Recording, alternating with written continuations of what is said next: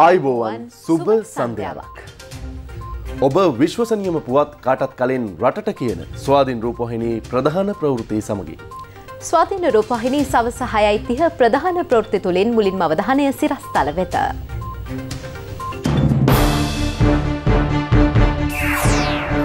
පහේ ශිෂ්‍යත්වයත් උසස් පෙළත් කල්දැමීමක් ගැන තීරණයක් නැහැ.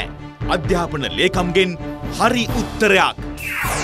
කුරුඳුවත්ත පොලිසියට ආපු සාලි තමන්ගේ පළවෙනි නීතිය ආගම යැයි කියයි. ලංකාවට එරෙහි ජිනීවා යෝජනා විවාදය කල්මැරීම පසුපස කුමන්ත්‍රණයක ලකුණු. සතියකට දවසක් බැරිනම් පෝයකට හරි පන්සල් යන්න අගමැති මහින්දගෙන් ඉල්ලීමක්. පාතාලයේ කෙරුමෙක් වෙච්ච කෙසෙල්වත්තේ දිනුක ඩුබායිවලදී මරුට. එන්නතත් එක්ක ලෝකයේ පොසිටිව් අඩුවෙද්දී ඇමරිකාවේ කොරෝනා පොකුර කෝටි තුනත් පනී. ගයා අසාත් සාලි මහත්තයා මේ දවස්වල පුවත් මවන චරිතයක් වෙලා තියෙනවා. පසුගිය දවසක රටේ නීතිය පිළිගන්න නැහැ කියපු සාලි මහත්තයා අද කුරුඳුවත්ත පොලිසියට ඇවිල්ලා තියෙනවා. ඔව් සහන්. හැබැයි අසත් සාලි මහත්මයා කුරුඳුවත්ත පොලිසියට නම් ඇවිල්ලා තියෙන්නේ එන්න කියලා නන් නෙවෙයි. ප්‍රකාශයක් දෙන්න ඕන කියලා. අන්නේ ආපු වෙලාවේ තමයි නීතිය ගැන කරපු ප්‍රකාශ ගැනත් මාධ්‍යයට ප්‍රකාශයක් දුන්නේ.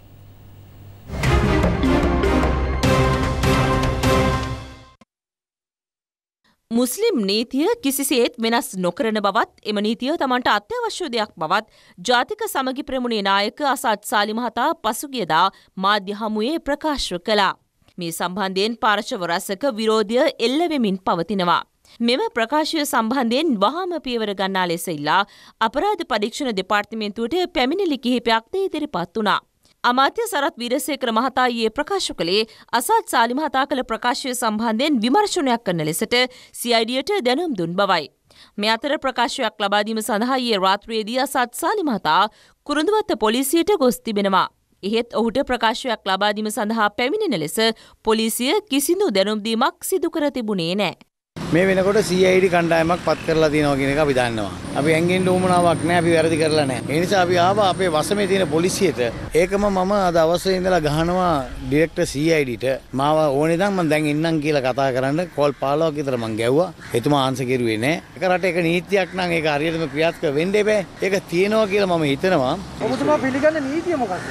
දැන් මේකනේ දැන් අපේ ආගම කියලා කියන්නේ ඒකනේ අපේ පළවෙනි නීතිය. ඔයාගේ ආගම ඔය හරියට අදාන්න ඕනේ. හරියට පිළිපදින්න ඕනේ. ඒක පිළිපැද්දාම ඇති ඔය රටේ නීතිය මේ කරන්නේ. දැන් අපි කියන්නේ මොකද්ද? මේ රටේ නීතිය අපි ගණන් ගන්න නැහැ කියලා කිව්වද? නැත්නම් අපි බාර ගන්න නැහැ කියලා කිව්වද? අපි කිව්වේ ඕගලන්ගේ නීතිය ඕගලන්ට අපේ නීතිය අපිට කියලා කිව්වේ මොකද්ද?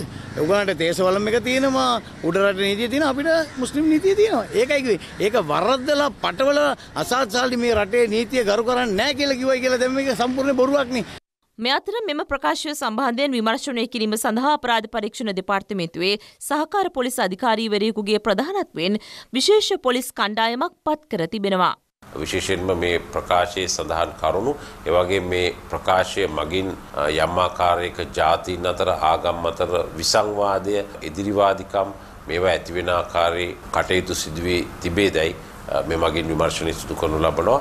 එවගේම විවිධ පාර්ශවයන් විසින් මේ සම්බන්ධ ප්‍රකාශ ලබා දෙමින් පවතිනවා. ඊට අමතරව මෙම කරුණ සම්බන්ධයෙන් අන්තර්ජාලයේ විවිධාකාරයට අදහස් සූමාරුවින් පවතිනවා ඊට අදාළව ප්‍රකාශ ලබා ගැනීමට නියමිතව තිබෙනවා. අසත් සාලි මහතාගේ ප්‍රකාශය සම්බන්ධයෙන් තවදුරටත් විවිධ පාර්ශව විරෝධය පළ කරනවා. නීතියට යටත් නැති මිනිස්සු රාජ්‍යයක තියාගන්න බෑ. ඒක ජාත්‍යන්තර නීතිය පිළිගත්ත සම්මතයක්. එමනම් කවුරු වුණත් කමක් නැහැ තරාතිරම මොකක් වුණත් කමක් නැහැ. මේ රටේ නීතියට යටත් නැහැ කියලා කියන මිනිහෙක් හරි ගෑණියෙක් හරි ඉන්නව නම් ඌ පිටුහල් කරන්න අපි නීති හදන්න ඕනේ. අසත්සාලී කටේ බ්‍රේක් නැතුව වීරෙක් වෙන්න බොහෝ වෙලාවල්ද එක එක ප්‍රකාශ කරනවා. ඒක කොහෙත්ම අනුමත කරන්න බෑ. ඒවට අදාළව මේ රටේ නීතියක් තියෙනවා. ඉතින් නීතිය කාටත් එක හා සමානයි.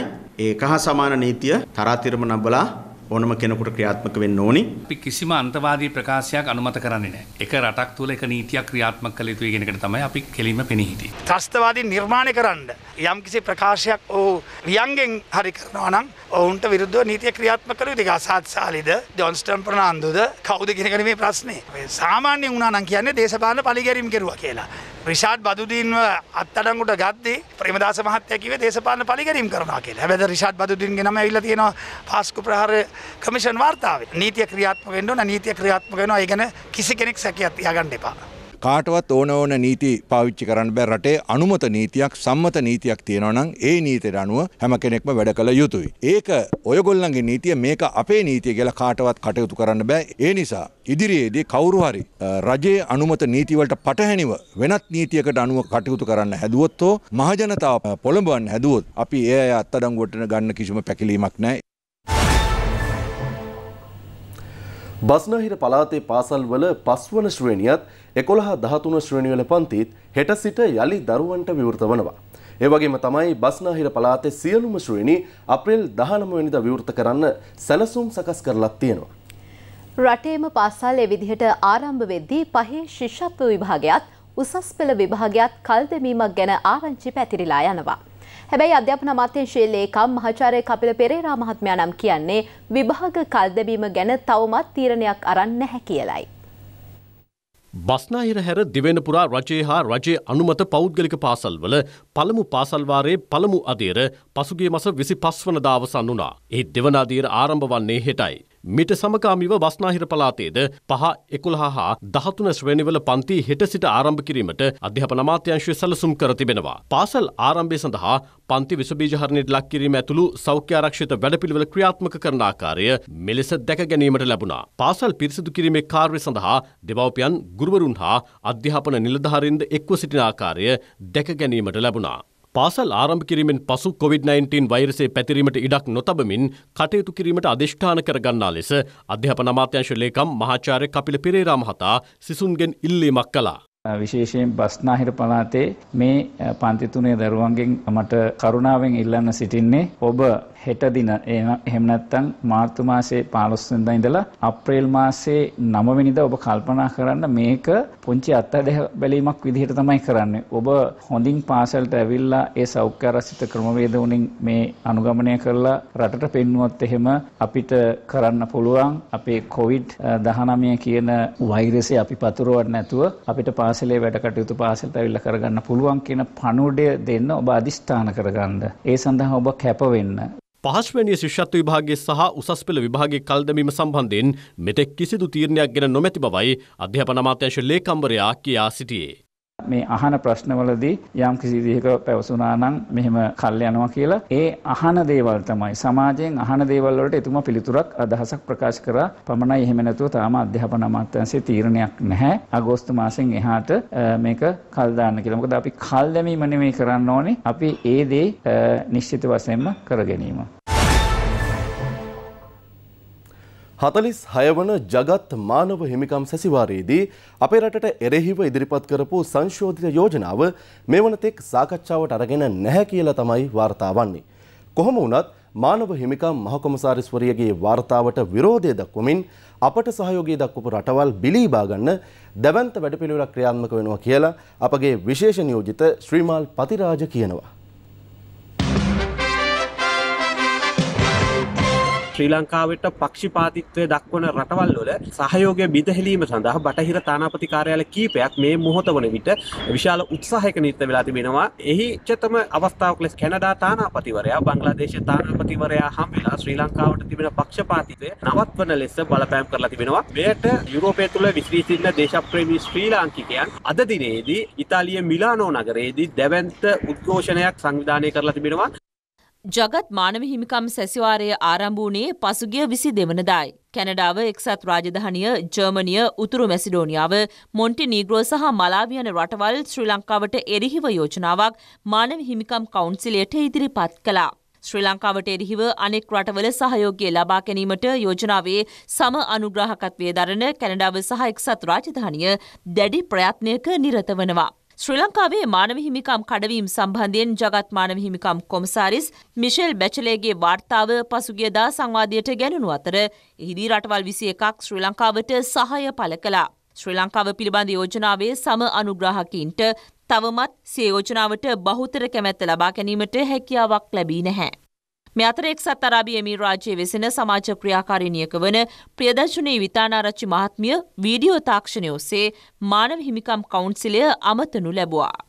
Human rights do not expire. So this council first investigate the abuses carried out during the colonial. Those who are responsible for looting and killing Sri Lankans have become defender of human rights and sponsoring a resolution while leaving a blind eye on a grave human rights violation carried out in Syria, Iraq, Yemen by few countries. This house has been sued as a tool in helping to achieve the geopolitical aspiration of few. During the last election, 69 lakhs of Sri Lankan people clearly refused any international instigation. Thank you. බෞද්ධයන් විදිහට අපි සතියකට දවසක් හරි අඩුම වශයෙන් පෝයකට හරි පන්සල් යන එක අනිවාර්ය කරන්න ඕන කියලා අග්‍රමාත්‍ය මහින්ද රාජපක්ෂ මහත්මයා කියනවා.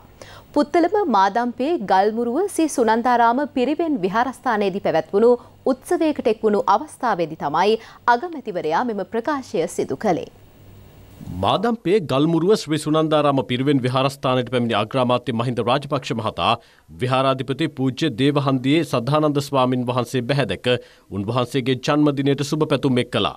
විහාරස්ථානයේ රන්වැට සහිත අඩි හැටක් උසින් යුත් චෛත්‍යය කොත නිරාවරණය කිරීම අග්‍රාමාත්‍යවරයාගේ ප්‍රධානත්වයෙන් සිදු කරනවා. ප්‍රතිසංස්කරණය කළ මකරතුරන් හා ප්‍රතිසංස්කරණය කරමින් සංරක්ෂණය කළ ඉපැරණි විශ්ණු දේවාලය විවෘත කිරීමට අග්‍රාමාත්‍යවරයා එක් වූයේ ඉන් පසුවයි. විහාරස්ථානයට අග්‍රාමාත්‍යවරයාගේ පැමිණීම සංකේතවත් කරමින් රත් හඳුන් පැලයක්ද රෝපණය කෙරුණා. මල්වතු පාර්ශවය අනුනායක පූජ්‍ය නිමුල් කුම්බරේ විමල දම්ම කටුකම්පුල හත්පත්වේ ප්‍රධාන සංගදායක පූජ්‍ය කහටවිල පියරතන යන ස්වාමින් වහන්සේ ප්‍රමුඛ මහා සංඝරත්නය මෙම අවස්ථාවට වැඩම කර සිටියා. මේ ස්ථානය දකින්නකොට මට පුදුම සතුටක් ඇති වුණා. ඒ වෙන මොකවත් නෙමෙයි මෙහි තියෙන ඒ සියලු කටයුතු අංග සම්පූර්ණ ආකාරයේ මෙහි සකස් කල්ලා තියෙන. ඒ කටයුතු වලට ගරු අග්‍රාමාත්‍ය තුමන්ගේ සහාය අපි අනේක වාරයක් පින්දෙනවා. එතුමානන් තිස් අවුරුදු යුද්ධේ මේ රට ගලවගත්. ඒ වගේම ගෝටාභය රාජපක්ෂ ජනාධිපතිතුමන් සමග එකට එකතු වෙලා කොරෝනා වසංගතයට නොබියව කටයුතු කළා සුවපත් කළා අපිත් ආරක්ෂා කළා මේ රටත් ආරක්ෂා කළා සුනන්දාරාම පිරිවෙන් විහාරස්ථානය පිළිබඳ සංස්කරණය කෙරෙනු සමරු කලාපයේද අග්‍රාමාත්‍යවරයා වෙත පිරිනැමුණා. සමාජයේ නිවැරදි මගට යොමු කිරීම වෙනුවෙන් ගමත් පන්සලත් අතර ඇති සම්බන්ධතාව වඩා තහවුරු කළ යුතු බවයි අග්‍රාමාත්‍යවරයා මෙහිදී පෙන්වා දුන්නේ. ජනතාවට ආගමින් ඈත්වෙන්න නොදී පන්සල හා බැඳිලා ඉන්න සමාජයක් ගොඩනැගීම අපේ වගකීමක් වශයෙන් මම දකිනවා. අපි පන්සලෙන් ඈත් වුණොත් වෙන්නේ ඊට වඩා නස්පත්තියක් රටට සමාජයට. අද දහම් පාසලට යෑම අපේ බෞද්ධ ජනතාවට අනිවාර්ය විය යුතුයයි මම විශ්වාස කරනවා. අන්න අනිත් ආගම්වල ඒ කාර්ය තියෙනවා. බෞද්ධයන් පන්සලට යන්න නියමයක් නැහැ. එහෙම නැති වුණොත් දරුවන්ට පුරුද්ද ඇති වෙන්නේ නැහැ. සමාජයට ඇති වෙන්නේ නැහැ. එකකින් අපේ පන්සලයි ඇත්තෙන්න ඉඩ අද ජනාධිපතිවරයා රට තුළ කරගෙන යන වැඩ කොටස ඇත්ත වශයෙන්ම ප්‍රශංසනීයයි. ඒ වැඩ කොටස ඉදිරියට ගෙන ගියොත් අපිට පුළුවන් වෙනවා රටේ සංවර්ධනයක් ඇති කරන්න. ඒ කටයුත්ත අපි හිටු ගන්නවායි කියන එක මතක් කරමින් මානියට. සංවිධානාත්මක අපරාධ කල්ලි සාමාජිකයෙකු මෙන්ම මද්‍රව්‍ය ජාවරම්කරුවෙකු බව කියන කෙසෙල්වත්තේ දිනුක නැමැත්තා ඩුබයිහිදී මියගොස් තිබෙනවා. කෙසල්වත්තේ දිනුක නැමැත්තා හෘද රෝගයකින් මියගොස් ඇති බවටයි තොරතුරු අනාවරණය වී ඇත්තේ. හෙරුවන් ජාවාරම සම්බන්ධයෙන් අධිකරණ වරෙන්තු ලබා ඇති මොහු මීට වසර හතරකට පමණ පෙර හොර රහසේ මෙරටින් පනගොස් ඇතැයි පොලිසිය සඳහන් කළා. කෙසල්වත්තේ දිනුක නැමැත්තා කලක් රෝගාතුරව සිටි ඇති අතර නිවසේ සිටියදී මෙලෙස හදිසි හෘදයාබාධයකින් මියගොස් ඇති බවයි විශ්වාස කෙරෙන්නේ. ඔහුගේ මරණයට හේතුව කොරුණ ආසාධනය වීමක් බවටද තොරතුරු අනාවරණය වී තිබෙනවා. ගයා අපේ රටේ ඉතිහාසය දිහැ බලනකොට නූර්ති සම්ප්‍රදාය අපේ ඉතිහාසයේ වැදගත් සන්ධිස්ථානවල මුල් බැහැගෙන තිබුණා. හැබැයි අද වෙනකොට ඒ තත්ත්වය ටිකක් වෙනස් වෙලා. අද නූෘති නාට්‍ය ගීතයක්වත් අපට අහන්නට ලැබෙන්නේ බොහොම කලාතුරකින්. ඔව් සහන්. ඒ නිසාම තමයි අමතක නැති මතක තුළින් හැමෝටම අමතක වෙලා යන මේ නූර්ති නාට්‍ය ගීත සම්ප්‍රදායට විශාල දායකත්වයක් ලබා දුන් ප්‍රවීණ සංගීතඥයෙකුගේ ජීවිත කතාව පිළිබඳ සොයා යන්නට තීරණය කළේ.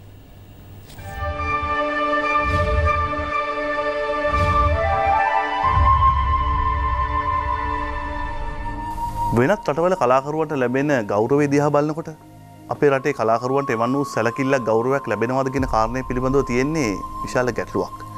හැත්තෑ වසූ දශකවලදී අපේ රටේ කලාවට විශාල මෙහෙවරක් ඉටු කරපු. ඇතැම් කලාකරුවෝ අද වනට බොහෝ දෙනාට අමතක වෙලා ගිහිල්ලා. ඒ නිසාම තමයි අමතක නැති මතක විශේෂාන්ගෙන් අපි බොහෝ වෙලාවට කලාවට සම්බන්ධ පුද්ගලයන්ගේ ජීවිත කතාව හොයාගෙන යන්නේ. අදත් අපි සූදානම් එවන් වූ ප්‍රවීණ සංගීතඥයෙක් පිළිබඳව ඔබට කියන්නට. ඔහු නමින් ලයිනල් ගුණතිලක. මගේ කියාවේ ලොවේ කිසිත් නෑ. දෙනෙත් වසුන කල මමත් මටම නෑ. මගේ කියාවේ ලොවේ කිසිත් නෑ. දෙනෙත් වසුන කල මමත් මටම ලයනල් ගුණතිලක නම් වූ ඔහු උපත ලබන්නේ එක්දහස් නවසය තිස්තුන වසරේ ජනවාරි හයවනදායි. මෙරිහාන ඇමුල්දනිය සිය උපන්බිම කරගත් ලයනල් ගුණතිලක කුඩා කාලයේ සිටම සංගීතයට දැක්වූයේ අපූරු දක්ෂතාවක්. තලපත් පිටිය බෞද්ධ මිශ්‍ර පාඨශාලාවෙන් අධ්‍යාපනය හැදෑරු ලයනල් ගුණතිලකයන් තමන් තුළ වූ සහජ කුසලතාව නිසාම නිරායාසයෙන් කලාවට යමුණා. තොර ඒ කාලේ මේ අපි පියතුමා ගමේ ඉන්න කලාකරුවන් පිරිසක් එකතු කරලා මානසික බලය කියලා නාට්‍යයක් රඟ දැක්වුවා මේ ගංගොඩුවිල YMB කියන ශාලාව අද වර්ග ශාලාව ගංගොඩුවිල නෑ. ඒ ශාලාවේ තමයි මුල්වට රඟ දැක්වේ. ඒකේ මම වයස 15 වෙදී පුඩ් බැලෝ සර්පිනා වාදනය කරමින් ඒ නාට්‍යයේ තිබිච්ච ගීත සියල්ලම වාදනය කළා. පසු කාලේ මගේ පියතුමා ගිහිල්ලා එවකට හිටපු සංගීත විශාරදයෙක් වුණ මරදානේ MS පෙර මාස්ටර්ට මා බාර දුන්න සංගීතීකරණ ගන්න. එතනින් තමයි මම ශාස්ත්‍රීය සංගීතයට ප්‍රවිෂ්ට වුණේ. ශ්‍රී සංගබෝධී නෘතියේ ගී තනු හා සංගීතයෙන් නිර්මාණයට එක් වූ මේ ප්‍රවීණයා නාමිල් වීරමුණි විසින් නිෂ්පාතනය කළ රාවණ හා සීතාභිලාශය නම් වූ නාට්‍යයේ සංගීතය හා ගීතනු නිර්මාණයටද එක්වන්නේ මෙරට නෘති සංගීතයේ පෙරලියක් ඇති කරමින්. දැ වර්තමාන සමාජයේ මේ ඇත්ත වසම රාගධාරි සංගීතයට එච්චර ප්‍රමුඛත්වයක් දෙන්නේ නෑ ඒකට හේතුව මොකද කියල මටන කියන තේරෙන්නේ කොහොමුණත් රාගධාරි සංගීතයෙන් නිර්මාණ වෙච්ච ගීත කවදක්කොත් මියන ඒව සර්වකාලන ගීත. උදාහරන්න ඕන තරන් කියන්න. අමරදව මහත්මය ගීතයක් බලන්නර සර දන්සිරි මහත්වය ගීතය කරම්බන්ට විටත්නක මහත්ය ගීතයක් කරම් බලන් හිට අතරකම නෘත ගීත අරම්බලන්ට අර සීතාමා සිරිය කියන ගීතය කොච්චර ජනප්‍රිය. ඒ ඒ කවදක්කොත් විවාසල යන්න ඒවත් සර්වකාලින් තියෙනවා. වර්තමාන සමාජ හිතා ඉන්නේ තැම යහන සිින්තු තමයි ගීත කියලා. අතීතය තිවිච්ච ගීතවල රසවෙද දන්නෙත් නෑ. ස්තර ගුවන් විදිරි හෙමලති පැනටසාන් කියලා ගහමාට වර්සනක් දිගටම යනවා. තකොට ශාස්ත්‍රී සංගීතය කියලා වෙනමක් නමයමාට යන. අද ලස්සන විරුදුවක් ඔටිම ජාතික ගුවන් විදිරුවත් හැන්න ෘති ගීතයක් ඇන්න නාරග ගීතයක් ඇන්න ගීත නට ගීතයක් ඇන්න විරුදුවක් ඇන්න වන්නමක් ඇන්න ඉතින් එහෙමුණ වෙනකොද බොක්කොම අකර්මණය යල ගිලන ඉතුරෙන ඔය වර්තමානය තියෙන මා ගෝසාකාරය සංගීතය තමයි ඊලක පරපට අසවිදින වෙන්නේ තකට ඒගොල හිතනා එක තම හොත කිය.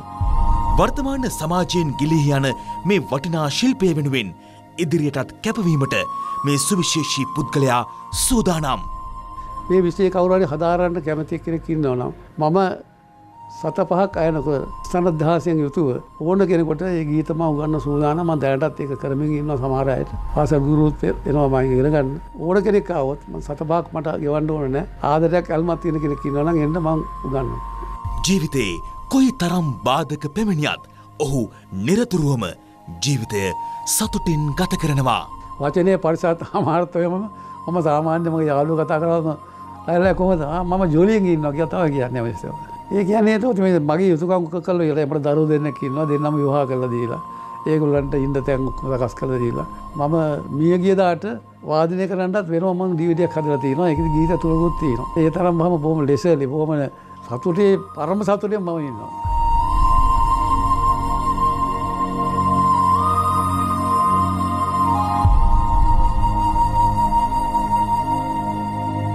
මෙවැනි වරසනක් කරලා අපේ රටේ හිටපු ජේෂ්ඨ කලා ශිල්පීන්ට ගෞරව දැක්වීම පිළිබඳව මේ කරන මෙහෙය තාම විශිෂ්ටයි. ඒකට මගේ අතිශය ගෞරවනීය ප්‍රණාමය සභාවතුමා ඇතුළු කාර්ය මණ්ඩලයට ඉතාමත්ම හදවතින් ප්‍රාර්ථනා කරනවා කියලා යන සතුට.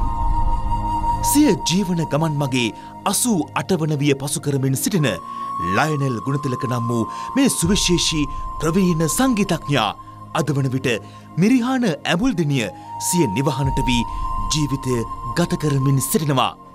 දශක ගණනාවක් තිස්සේ මෙරට සංගීතක්ෂේත්‍රයට සිදු කළ අපමණ මෙහය වෙනුවෙන් ලයනල් ගුණතිලක නම් වූ මේ ප්‍රවීණ සංගීතඥාට ස්වාධීන රූපවාහිනී මාධ්‍යජාලයේ ගෞරවය මෙලෙස පුද කරන්නෙමු. මෙවැනි සුවිශේෂී පුද්ගලයින්ට ජීවයක් වන්නට ස්වාධීන රූපවාහිනී මාධ්‍යජාලය හා නිදහස් කලා සන්ධානය නිපන් දෙවම සූතානවින් සිටිනවා. අප සමක ඒ සඳහා එක්වන්න ප්‍රේක්ෂක ඔබත් කැමතිනම් අමතන්න.